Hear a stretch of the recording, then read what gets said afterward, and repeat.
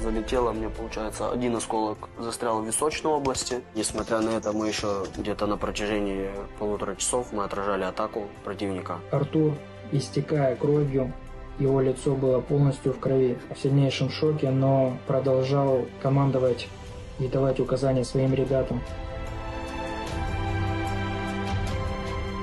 Он меня поднимал, не, не думал о том, что у него там осколок. И стали уходить назад, бы отступать. Приехали наши основные силы, э, раненый экипаж свой я эвакуировал.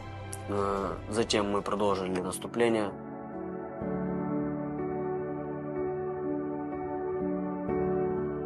Мне позвонил э, парень, он говорит, ну они вот при заходе туда все, всех перебили.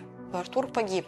Ну и получается, я, будучи беременной, вот жила две недели с мыслями, что ну, мой муж все погиб. Конечно, посещали такие мысли, ну, что он не выйдет больше на связь или что с ним что-то случится, и мы больше не увидимся. Я бы просто не пережил бы этого. Я не смогу об этом говорить. Смотрю на Костика и думаю, что это Артур.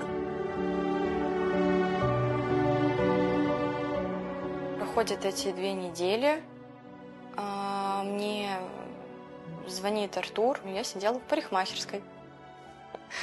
Ну, я, естественно, расплакалась.